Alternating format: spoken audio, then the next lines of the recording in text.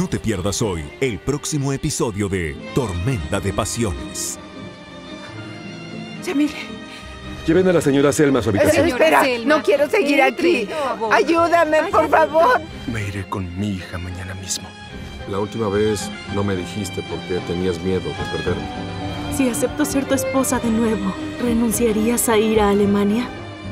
Un nuevo episodio de Tormenta de Pasiones. Hoy, solo por Canal de Drama.